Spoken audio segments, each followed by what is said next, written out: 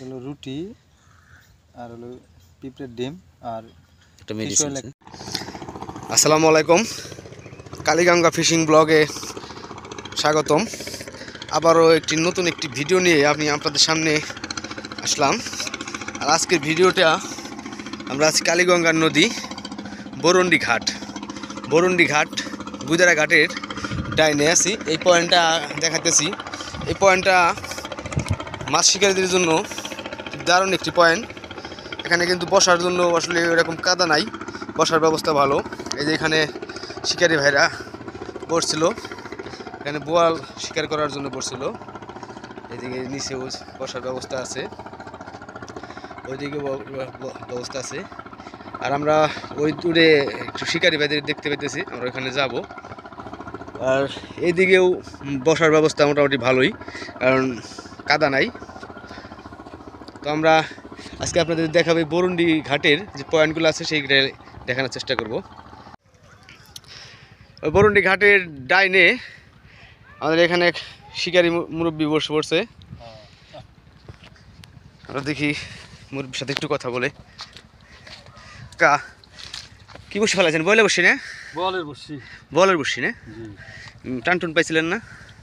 না টান তো এখনও পাইনি। দুইটা টান পাইছিলাম ছোট ছোট ওই মনে হয় ছোট মাছ। ছোট মাছ। আসলে তো বল শিকারীদের জন্য কি উপযুক্ত আসলে হয়েছে না পানিটা কত অবশ্যই। অবশ্যই হয়েছে না? হ্যাঁ, আমি আপনাদেরকে আগে এক সপ্তাহ আগে একটি ভিডিও দিয়েছিলাম যে বল শিকারীদের জন্য আসলে পানিটা উপযুক্ত ছিল না পানা আলো কচুরি পানায় পয়সা পানিটা ঘোলা হয়ে ছিল তো এখন আপাতত পানিটা পরিষ্কার হয়ে গেছে। একদম পরিষ্কার হয়ে গেছে। যারা বল শিকার করতে চান আসলে তাদের জন্য আসলে এই পয়েন্টটা একটি উত্তম একটি পয়েন্ট এর নিচে তো বাইজা বুঝে পড়ে না তাই না? না এখনও বাজে নাই। এখনও বাজে নাই। কিছু ওইদিকে দেখলাম আপনার এই খালি ঝিনুক পরে রয়েছে ঝিনুক ঝিনুক দিয়ে ফেলে বেশি ঝিনুক দিয়ে বেশি ফেলে। হ্যাঁ। তার মোটামুটি আর কি বল মারার জন্য এই পয়েন্ট আর কি ঠিক আছে। ঠিক আছে হ্যাঁ। আপনারা যারা বল শিকার করতে চান তাদের জন্য পয়েন্ট আর কি ঠিক আছে। আর এই বরুণী ঘাটে আসার জন্য যদি আপনারা ঢাকা সাভার থেকে আসেন তাহলে আসবেন হলো মানিকগঞ্জে। আপনি যদি সিঙ্গার হয়ে আসেন হেমাদপুর হয়ে তাহলে আপনার নাম হবে মিত্রা। মিত্রা স্ট্যান্ডে নামার পরে যে কোনো গাড়িওয়ালার বললেই যে বরুণী ঘাট কোন দিকে? আপনাদেরকে নিয়ে আসব বরুণী ঘাটে। বরুণী ঘাটে আসার পরে ডাইনে আপনি ডাইনে চলে আসবেন। বরুণী ঘাটে আসেন ডাইনে। চল্লা করলে যাওয়ার যে রাস্তাটা আছে ওইদিকে এলে পরেই এদিকে দেখতে পারবেন পয়েন্টগুলো। তো ওখানে একটা দুজন শিকারী ভাই বসতে দেখি আমরা তাদের সাথে একটু কথা বলি। এগারোটার দিকে বসে রয়েছে তারপরে ওই দর্জি কুলাইতেছে হ্যাঁ একেবারে। সন্ধ্যা পর্যন্ত সমস্যা নেই। নাই। এগারোটার দিকে আসছে একা কায় এগারোটার দিকে আসার পর এখন বাজে হইল সম্ভবত দুইটার উপরে না? কয়টা বাজে? একটা দুইটাই বাজে। তো দুইটা পর্যন্ত কিন্তু কাকায় বসে রয়েছে বাড়ি থেকে কিছু বলেন না কাকা? বাড়ির থেকে তো মাছ মারা এটাই পছন্দ করে না তো নিজের শখের বসে আসি আর শখের বসে আসেন না? তো এই শিকারি ভাইদের এই শখটা আসলে অনেক ভালো লাগে আমার। আর এই শিকারি ভাইদের এই শখের জন্যেই আমিও আপনাদের সাথে থাকি শিকারি ভাইদের কথা ভালো লাগে। আর বিশেষ করে আমাদের সাবস্ক্রাইবার আছে কালীগঙ্গা ফিশিং ব্লগে কাদের ভাই। কাদের ভাইকে অসংখ্য ধন্যবাদ জানাই যে আমাকে উৎসাহ দেওয়ার জন্য, নতুন নতুন ভিডিও তৈরি করার জন্য। আমাকে প্রত্যেকটি ভিডিওতে কমেন্ট করার জন্য অসংখ্য ধন্যবাদ কাদের ভাই। অনেকেই আপনারা চল্লা করলেও কথা বলেছেন যে চল্লা করলে কী অবস্থা। চল্লা করলে কিন্তু মোটামুটি মাছ ভালোই ধরে, ওইদিকে রুই মাছটা একটু বেশি ধরে। যারা রুই শিকার করতে চান তারা চল্লা করলে আসতে পারেন। আমার পরবর্তী ভিডিও হবে চল্লা করলে। আমরা আপনাদের চল্লা করলে পয়েন্টগুলো দেখাবো আশা করতেছি। এখানে কিন্তু শিকারি বাইরে বসছিল তার পরিবেশ দেখা যাইতেছে। এখন নাই চলে গেছে। আসসালামু আলাইকুম। ভালো আছেন? আল্লাহর রহমতে। যাক কতক্ষণ ধরে বসছেন? বসি মোটামুটি দশটার দিকে আইছি। দশটার দিকে আইছেন? দশটার দিকে আইছি। যাক আপনার তো আরও ধৈর্য।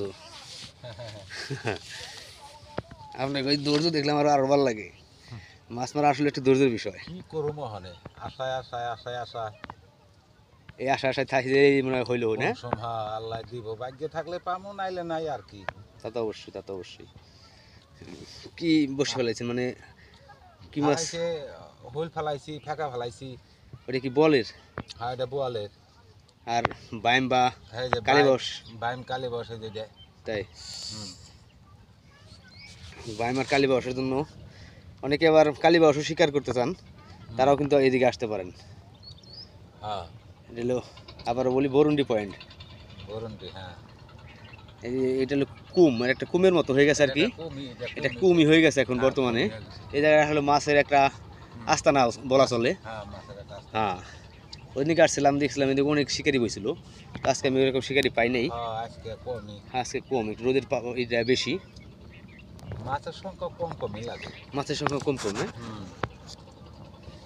মাছ ধরে ঘুরতাছি? লাগতেছে না।